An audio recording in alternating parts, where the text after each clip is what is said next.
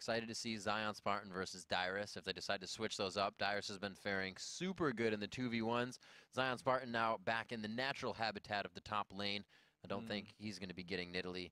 Uh, that'll be the ban out there. But what's be interesting to see what Nintendo X brings, as well as just Good Game University, because they're the ones to do the Fizz. They're the ones to do. Well, I was going to say the Lulu, but they're not. That was mandatory. clause. So It- Fizz, yeah. It's still got to feel so good for Right. Zion Spartan to be back in the top Yeah. lane. Like he said, it's like switching from quarterback to wide receiver. Like as a top laner, he can just do what he wants. He gets to run the long, the deep routes, and just kind of play the game, make big plays. I was watching a lot of Voyboy stream, and I know we don't want to go back to Curse, but like every game he was playing against Zion Spartan. At like five games in a row, he was just laning against Voyboy. So Zion practicing against these guys, and he definitely holds his own. He's a really quality player. We'll have to see what he gets in Champion Select to hold his own this time. As we do enter in, Singed is banned out as he's been seeing a lot of play here the past few weeks. Kayle and Malphite as well. And the Akali ban is what Zion Spartan played against CLG earlier today. So what TSM has adopted right now is just let's ban out what GGU most immediately used just to make them play something different and put them a little Yep. bit out of their comfort zone. for sure. Let's see what this last ban is. The Taric does go out, so we're not going to see any armor. Yeah. Come, no armor. I actually wish that GG would have banned Taric and then Singed and then Malphite because they would have banned out TSM Oh, and the game would be over. would but completely be over. They banned out SMT. I don't even know what that means. well, they banned out a cat on the other side, so Yeah. we'll be okay. We do have a word on one side. Still waiting for the pick. Guys are taking a good amount of time. We can see him talking back and forth, though. Zion discussing with his team. What are they going to choose? It has to be quite an ambiguous pick, or do they choose? Yeah, it's just going to be the jungle. Easy enough. So the Taric has kind of been the lock-in first pick if it's available. And in the last game was the battle of Jarvan jungle versus Xin Zhao jungle with Loudamortis and St. Yep. Vicious. And Looks like we'll have GG it was like. I'm going to go with Xin Zhao here, and Nintendo's probably going to be playing that one. Unless the Abram plays Vi, that would be pretty interesting. Or Hecarim would be another one I want to see him. Hecarim, he does like to ha- play Hecarim. He likes Yeah. the horse. If anyone hasn't seen it, there was an also kind of like wom- awesome wombo combo video Oh. on Reddit, which TSM could totally go for if they wanted to, because Reginald plays a bunch of Orianna and the odd one plays Hecarim. It was pretty much a max range Orianna ult on four people, which collapsed them into the Play same of the point, day. Play of the day. Odd one just Hecarim ulted right in the middle. They actually just send them back out, but they're all dead. So Yeah, by that time, he had already put the burn on them. They were Yeah. good. So we see MF coming in here, and you actually might get the Hecarim with the long-range Leona initiation. I could absolutely see it. They already have picked their Tark substitute for tower diving. Yeah. Leona can buff up her armor enough that if TSM wants to do their early one two early 2v1 tower dive, they absolutely can. Yeah, for sure. Versus AP Tryndamere, Rumble will not be able to deal with that No. split push unless they shut him down in the lane or win team fights earlier. If there's going to be a team to hard initiate onto a split pushing AP Tryndamere, it's going to be TSM. They are the team that is fearless. So for TSM, they're probably going to do the early game tower dives, and then they have to force team fights and stop AP Tryndamere from becoming a problem. For GGU, they have to survive to that moment, right? They have the same Yeah. split push composition that Curse played with AP Tryndamere earlier. They get the shove from Lux, and then they have the pushing support as well. So this will be a very interesting game, Riv. Now, we actually haven't seen too much a Corki Lulu matchup in the lane. How's it going to Yeah. go up against MF and Leona? I think it's just a shove lane, but I also think they're not going to fight each other. I think we're going to see the 2v1 lanes straight off the bat, and it, it will just be a shove fest. If it is a lane matchup, I think it's a little weak because they can get engaged on, but probably not. All right, we'll have to see as these two teams come in. Game six of Super Wednesday. We're not oh, even Oh, yeah. close to being done yet. We're almost halfway. Almost halfway. Once we get to the halfway twelfths. of this game, we'll be halfway there. Yeah, Yeah, we will. that is technically true. and we see the two teams that are going to be heading off for this match. We do have Good Game University versus Team Solo Mid.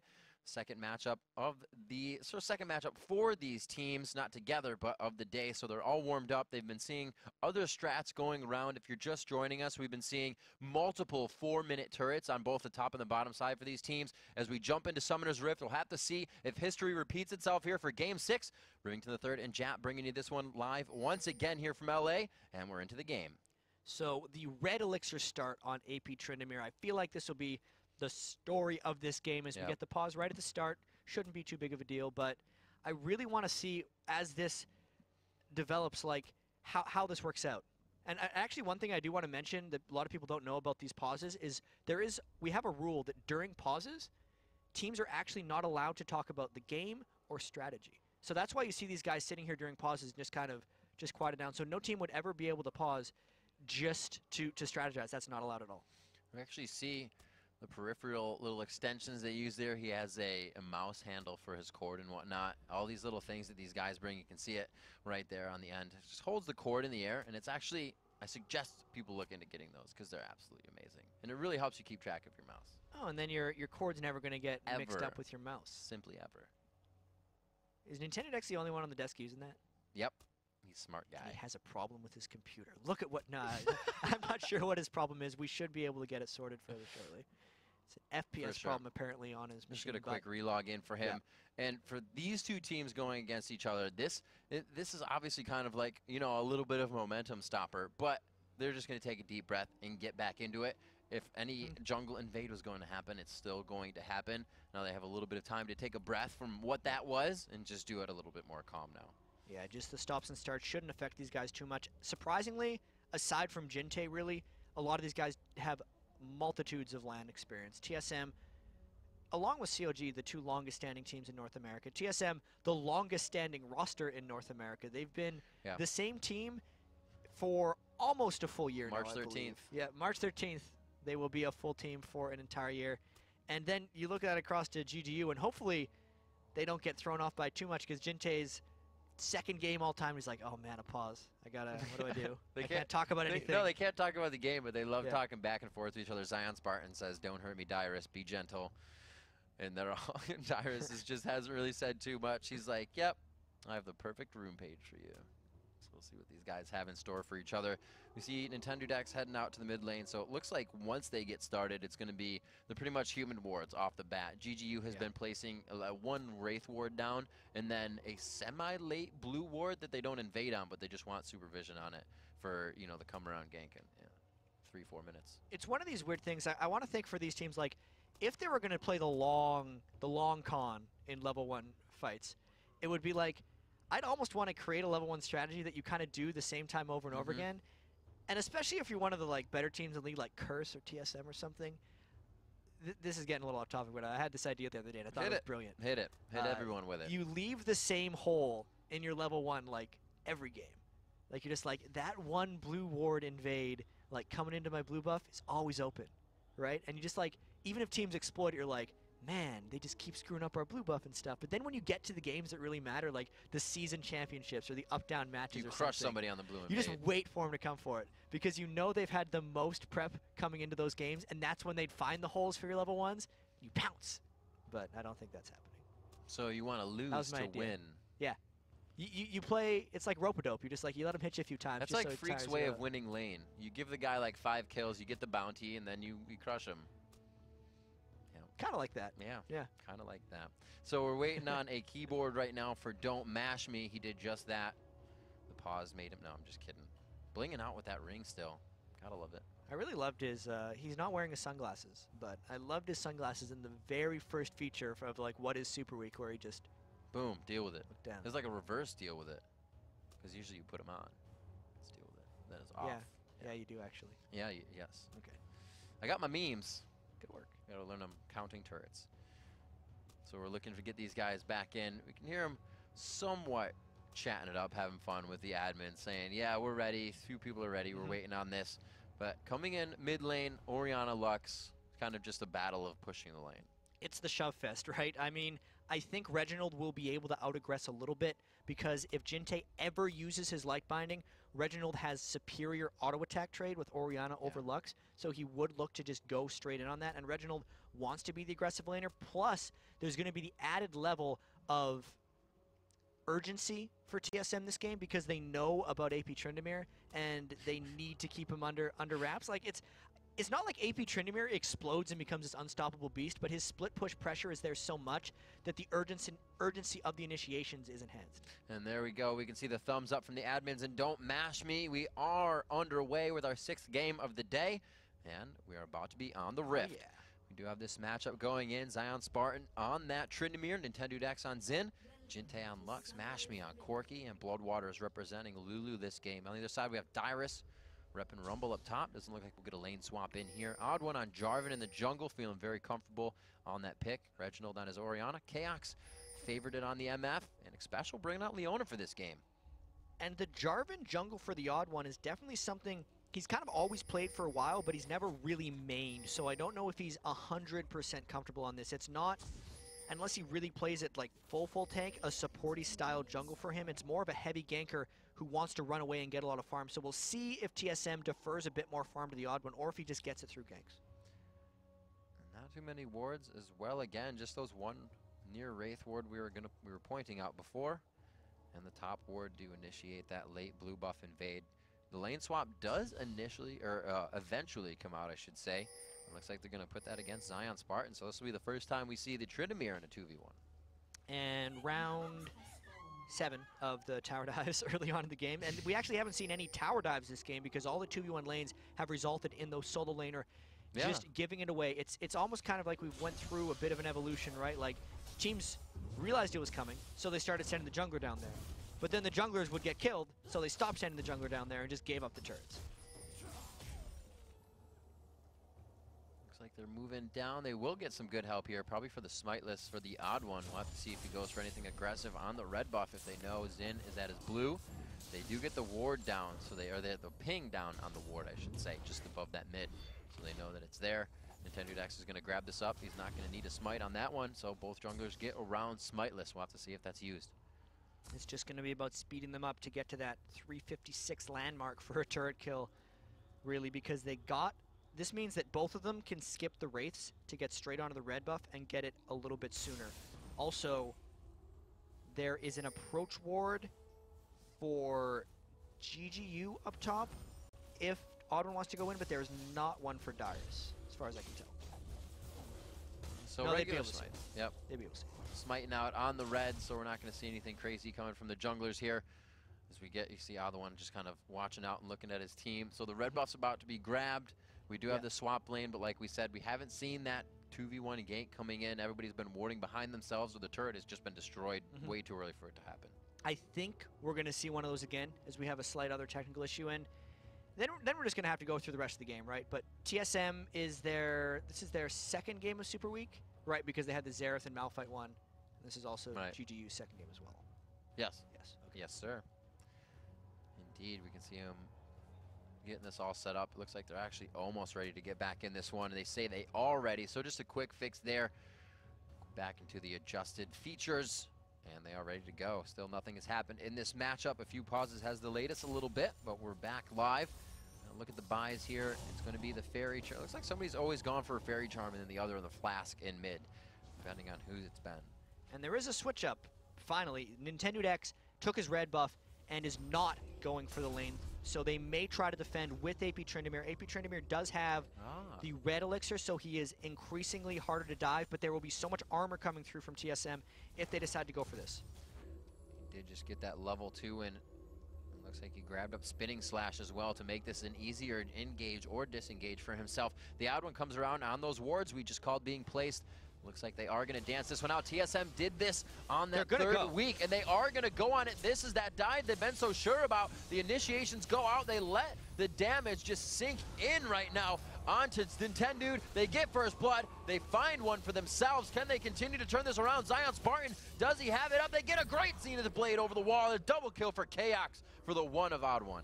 And double buffs as well. So that was almost as good as you're going to get for GGU on the defense department. They made TSM eat as many turret shots as possible, but they went for the double buffs first to make sure Chaox had them, and then they ran down, or they, they went for the double buffs first just to make sure they would get them. And then Zion Spartan, instead of sitting in the turret and just eating the one kill, decided to keep chasing. So a win for TSM. They're going to get turret damage, but mainly they got the double kill for Chaox. This is going to be great as this one goes down. It's a little bit after four minutes, so they're slacking, but they are going to be able to grab it, Chad. Yeah, so 426 Oh, they leave it. was All when they wanted to get the turret, but I mean, uh, even if they don't take the turret, They have a great advantage. they might want to continue to dive Yeah. because the ignite and the ghost is down on Zion Spartan, and NintendudeX knows he has to be up here for the defense. He's walking through a ward, and at the very least is going to stop them from tower diving, I think, but it's still pressure from TSM.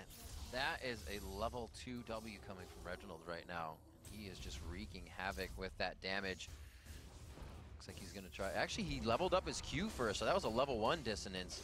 Very scary coming in for Jintae in mid. We see more pressure up top. NintendudeX forced to come back into the top lane, Jatt, just to guard.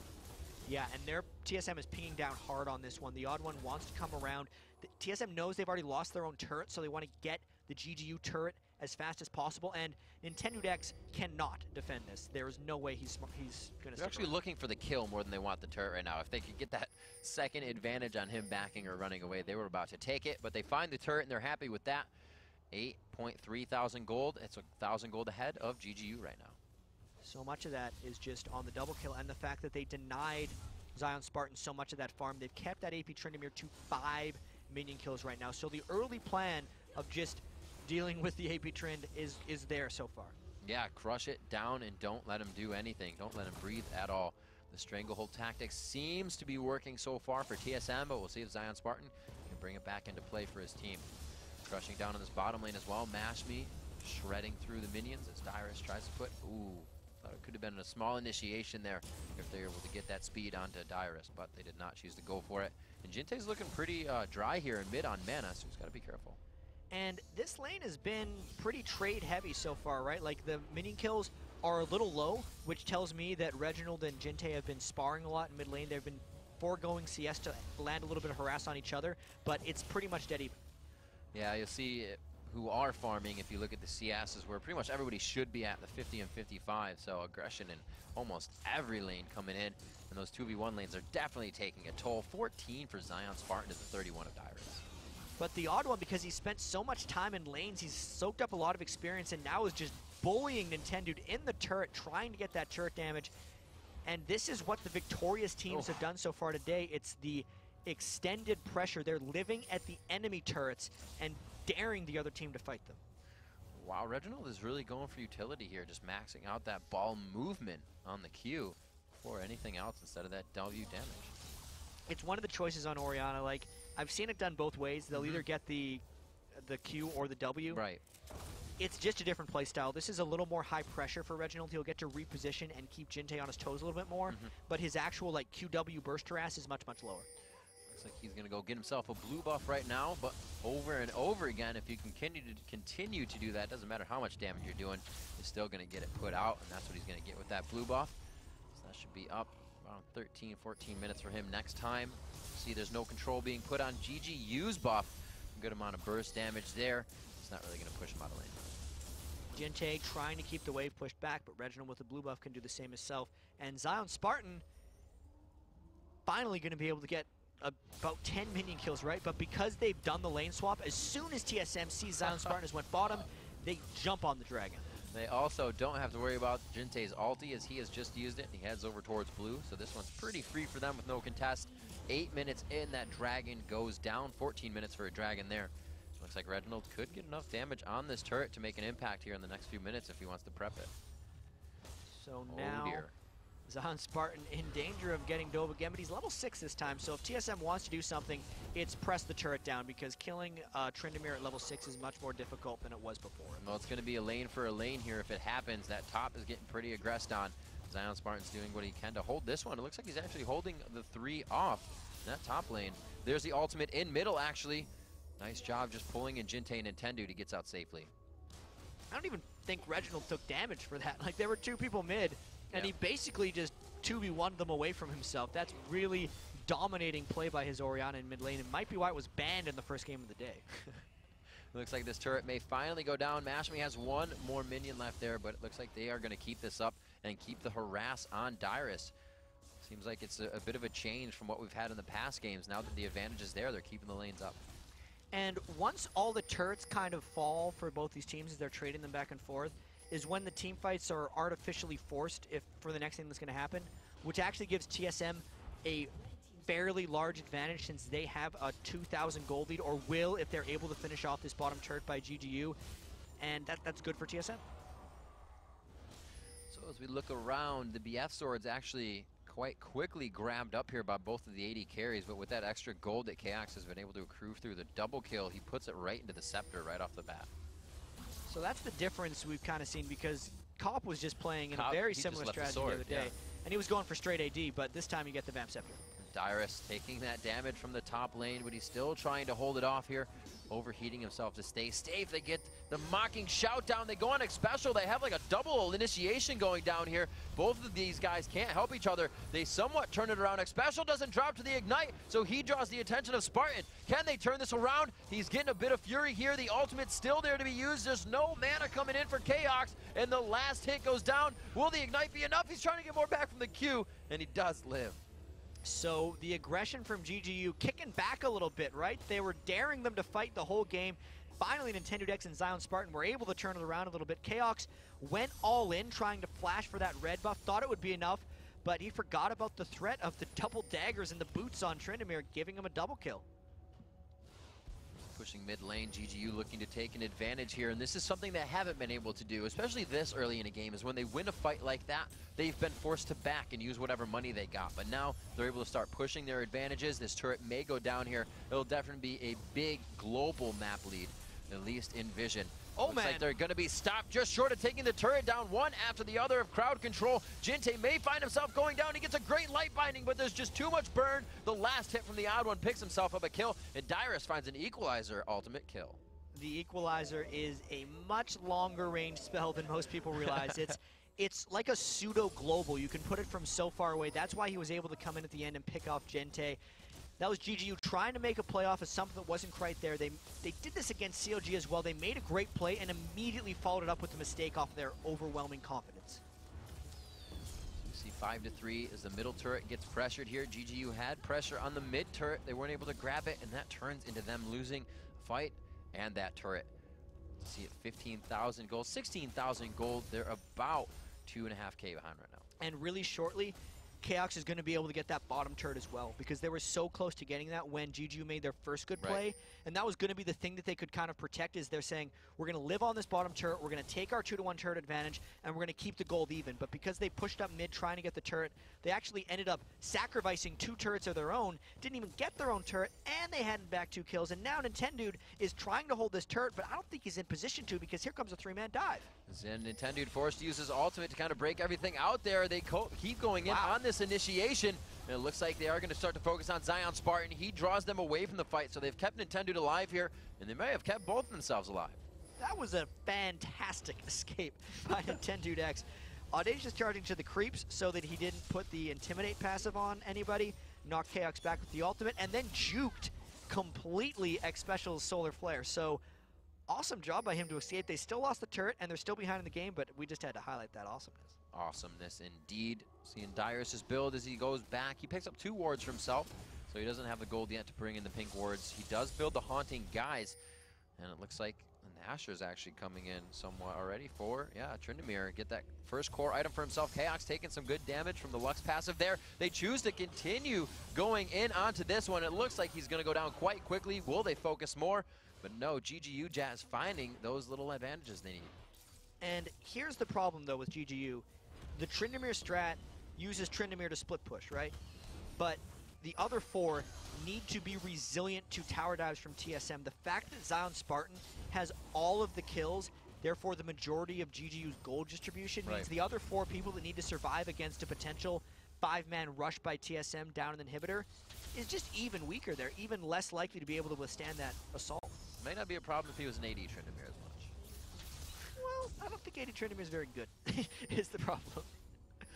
At least some more damage that they would be looking for. We see the gold here stacking up. 4,300 to 5,700 on the AD carries Mashmi quite behind there. The Zeal and the Bloodthirster finished over on the side of Chaox, and he actually puts in the sword as well, the long sword for the next buy. He comes into his last Whisper. The Infinity Edge trying to be finished off on Corki here, so he's looking to get that burst damage, but he's spending a bit more.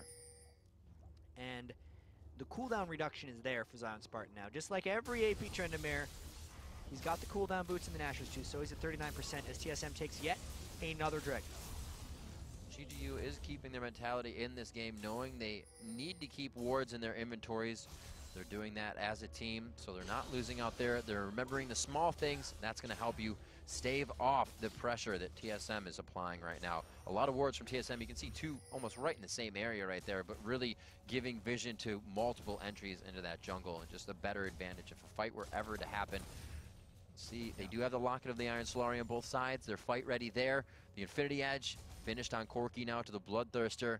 Both of the supports have their pink wards. These guys are ready to go head to head in that next mistake.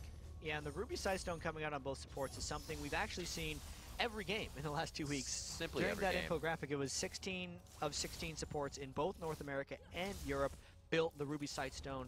So if you're at home and you're a support and be like, yeah, I think I should build a Ruby Sightstone. Or if you were ever considering. Yeah. Like, I wonder if I should get that Ruby Sightstone. Yeah, I think you should at some point.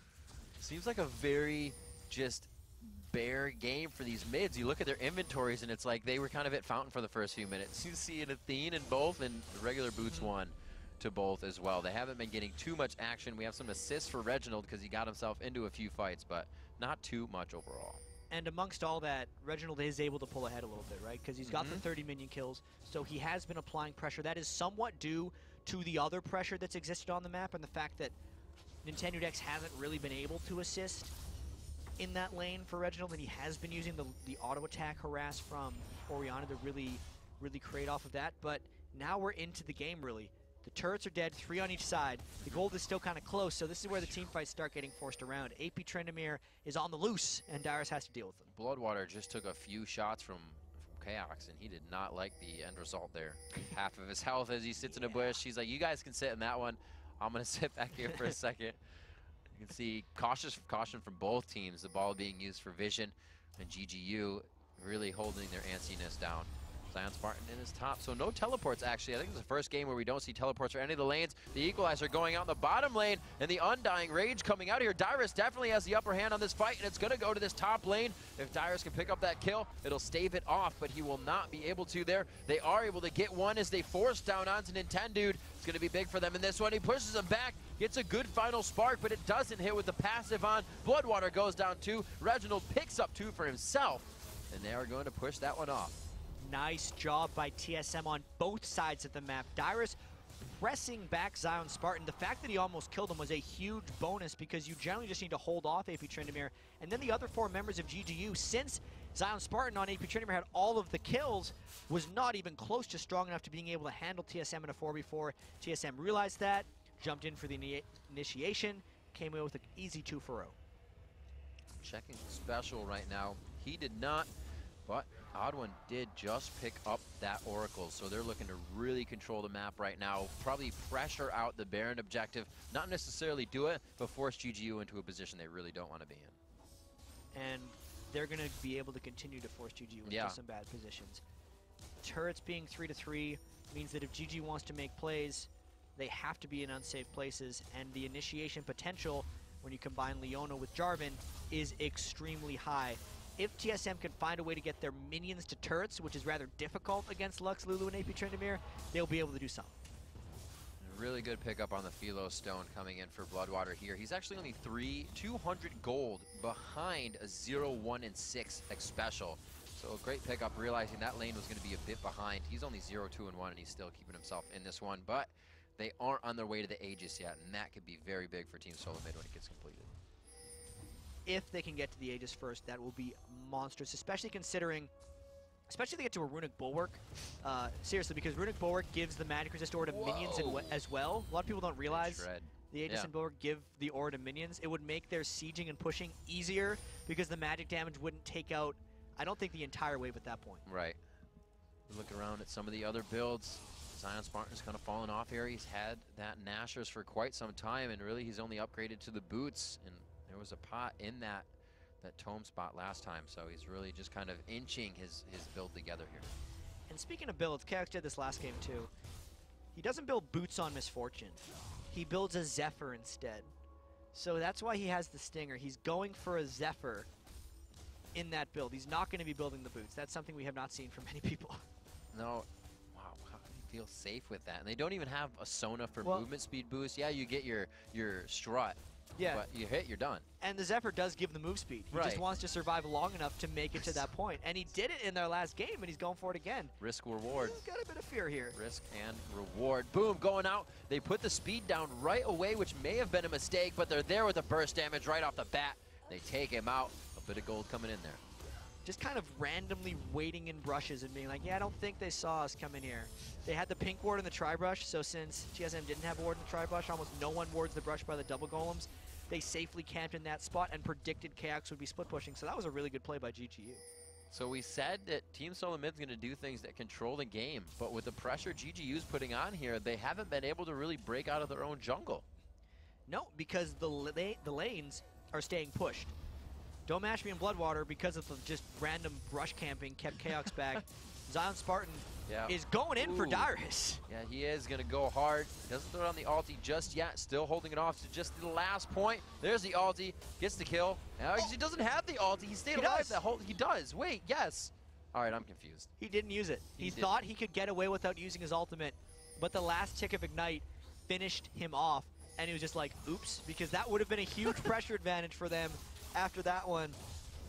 And Oh, now man. TSM might take a Dragon because they're so much stronger 2v4. If Zion Spartan was alive, this could be a GGU Dragon. Completely different. It would be Jatt. They're going to go ahead and grab this guy up. At least he has his ultimate for the next fight, but he did use the Ghost and Ignite on that one, so his split push not going to be as effective, and they may just try to take him down right away. Mash me, get the wards in. They're a little late there on the bottom side. Still, the Oracle's now not doing as much as I thought it would for Team Solo Mid. They're kind of doing a great job at holding Odd One to just clearing his own jungle. Yeah, they really wanted to make that Oracles make plays for them, but just because of the lane presence by GGU, that wasn't necessarily the case. And with Zion Spartan having 40% CDR on Tryndamere, burning that ultimate wouldn't have been an issue, right? It's a 60 second cooldown with his 40% CDR, so he's going to want to make that play better in, in the future as he goes for that Lich Bane. Not one of the first games, but one of the very few games we see that nobody's really going full tank here. The junglers are kind of taking a tanky role, and then your tops are building more for damage and really team utility. Darius wants to be able to threaten Zion Spartan at least a little bit. So because of the heal sustain that Tryndamere is going to be able to do, Darius needs to make sure to get a build that can burst him like in a in one cycle. I, Mhm. I'm a little surprised, even just because it doesn't fit Darius's build. But if he were to get a Morellonomicon, either him or Reginald at some point, just to reduce the healing when he does go all in on Zion Spartan, if that Right. could maybe be his next item, it's probably what he needs if he wants even a chance of dealing with him 1v1. We got a good push for Mash Me up top. He's got quite the minion wave to go at as we see Zion Spartan trying to get himself through the jungle, actually in quite a risky spot. Wards in the jungle are going to alert them that he is there. He knows they have wards, so he, you see how cautious he's playing now. That he was seen milling about the jungle. Everybody's clearing out these waves, chat. It's all about that mistake. Everybody is just waiting Hmm. for it. This reminds me a little bit of GGU's victory over Vulcun, their only victory this season when Mhm. they had that crazy poke comp. Not because of the compositions, but literally, I think this was a gold total in that game at some point. Vulcun had about a 4,000 goal lead. GGU was down three to four turrets, and they just sat in here for a while. They got into a split push rhythm where they could keep the farm equal for a really long time. Vulcun got antsy and Vulcun initiated and then ended up losing the game. So GGU is trying to force TSM into a similar moment of antsiness, and they're hoping TSM gets forced into a mistake. Well, they've done a great job at keeping all the lanes past river. I think this is the first time Chaox is actually going to be able to help push this top lane in the other direction. As Zion Spartan just stays in that bottom lane. Very interesting that they're not choosing to push the top lane with Baron being up, but they again keep Dyrus out. And effectively, I think a Dyrus ultimate in this fight is going to be a lot bigger than a Zion Spartan. So this is. is really a huge play for them. A Dyrus ultimate is much better than a Zion Spartan in the lane, but what, what GG wants to be able to mm-hmm. do is get Dyrus to use a teamfight ultimate, and that gets Zion Spartan a turret. I think that's the whole play. And finally, TSM's had enough of it. They're controlling around Baron, and they want to try to make a play here because they know they're stronger 4v4. the pings are there. If he, Dyrus can get vision of Zion backing in that bottom lane, they know he's going to start heading towards the top, so Dyrus may do so himself. Try to scrap shield his way up there. The wards are being all placed down. Odd one still sporting that Oracles. They know that Lulu is close, which means the rest of the team is close. So it looks like to be the dance, Jatt. Baron Boogie. Snake Shuffle. Snake So much- Shuffle. So much will go on here, but there's a Reginald Oh, ultimate out of the wow. blue. That was a very nice ulti. Doing a bit of damage, but where's the initiation off of this one? He flashes the final spark damage. They're kind of walking out of a lot of abilities here. The reinitiation somewhat misses as well, but a huge on here by OddOne and Dyrus. Both ultimates just overlapping. It looks like they're going to start cleaning up this fight. Bloodwater does make it out with a sliver. It's the harpoons on an Nintendude. They try to go on to Don't Mash Me as well. The flashes are coming out. One last shot from Chaox picks up NintendudeX, and they look to back out, losing nobody. And Zion Spartan bailed out of that fight as soon as he popped his ultimate. If he would have stuck around, he might have been able to come and get some cleanup on Xpecial or Chaox, but the threat is gone. He essentially went bottom lane to heal. Maybe he can make it back up to stop this Baron because he really has to, otherwise TSM will get complete control of this game. TSM is super low. Mashme has the burst damage to get through some of these health bars. If they can get there in enough time, they're not really crushing this Baron just yet. The health is low. Zion Spartan is going to go in. Can he get enough Oh, damage no. out here? They're going to make him focus him, but they all walked away from the Baron, so he took the damage as well. He didn't have his ult that time either. And if GG wanted to harass that Baron, they needed to communicate better and go in together because Don't Mash Me and Bloodwater were kind of there. It's just Zion Spartan went early, Don't Mash Me and Bloodwater weren't able to arrive at the same time. And people on TSM were low enough that if they spent the time to focus Zion, Mash Me and Bloodwater could have gotten in a few good shots, but miscommunication, poor execution by GGU, crisp execution by TSM. They took that out. They had the communication at Baron. They got the smite down. Now they got a big lead. Six and a half thousand gold for Team Solo mid right now. 11 to 6 in the kills, and the turrets are still stale at 3 aside. We'll have to see what these guys do as we reach 26 minutes into the game here. It looks like TSM has found a good amount of ground with that last push. GGU was definitely climbing their way back into this one. We had quite an even game right up until that. It's all going to really be dictated by this next fight. That Baron is out, so it could be the TSM to just do it under the turret. And I like how Chaox has a bunch of swords that face in the same direction. I think it's a synergistic build for him. I, I do like the Zephyr build to point it out once again, but the synergy of the pointing to the right is is good. This is absolutely amazing. He is sporting five right pointing swords. He needs to get a vamp set. He needs to get an Avarice Blade. There you go. Yeah. Six right pointing swords. Yeah, silly giant spell. Look at how much right pointing damage they're doing to Dragon. They take it down 27 minutes on that one, so we'll see him coming up at 33 minutes. See if they even want it at that point. It's going to be all about the Baron once again as we get to that 33 minute mark. With the push they have going now with that gold, they have to know they're somewhat in the lead, so it just takes one good engagement. And TSM is not afraid to do that good engagement. This is kind of the moment they've been waiting for. They do have the Baron buff. They know the that Zion Spartan is not with the team, and they're much stronger than the other four for Good Game University. But they've still sent Dyrus to split push, so they are playing this one safe. And then Chaox goes back to farming well, so they're just content keeping this one slow. Hmm.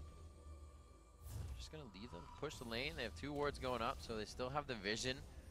Back to super cautious play. 45,000 gold to 37,000 as we just talked about that deficit. The best way for them to come back here is global pressure, but they cannot get off their side of the jungle. TSM's now flipped it back onto GGU. They're starting to get wards past the river and into GGU's jungle. And you can see how much more, you know, not cautious they're playing. Couldn't find the word. Aggressive? Thank you. Reckless? Reckless. Reckless. Reckles. He doesn't play. No. He's too young. Everybody wants him to. 28 minutes, Jatt. A slow one for GGU here. Where would it be a comeback for them? The comeback comes from TSM letting their Baron buff go out, and Zion Spartan either killing Dyrus or getting some pressure on the other lanes, with now his death cap being completed on Tryndamere. But that's really tall task because TSM initiates very well, and this is their window. They have five people with Baron. They're willing to tank up this turret without minions because they're so strong right now. Crush that one down. We can see Mashme's missiles just coming off from the side, really not doing anything. He can command Shockwave. He doesn't even get a chance to breathe in the fight. It's going to be a forced back for Zion Spartan here unless they're just going to go all out base for base. But I don't think he's going to have much of a chance. Zion Spartan actually does stay. They lose the inhibitor turret here. They're going to try to get just the gold out of this for the next fight. They know it's not going to be game, so they're getting what they can. TSM might try to end the game here. They're still pushing up, Oh, and they know wow. Zion's not there. So it's 3v5 with Barons. They're going so strong. Takes eight seconds to back. 20 seconds on the clock for Mashme. The first turret goes down in a second. The second turret goes down in a few more seconds. There's the ultimate from Dyrus, stopping anybody who's trying to reinitiate in off the fountain. They're hitting down the Nexus. Team Solo Mid likes to take out GGU here in this matchup. 29 minutes and 30 seconds, and they just snapped their fingers and went for it because that's what you do against a split push composition like that. You go, you go hard and fast, and they did exactly that. They got their one kill. Red, after Reginald solo don't mash me, they just pushed it through for the end. That is a really hard way to lose for GGU, but a great way to win for TSM.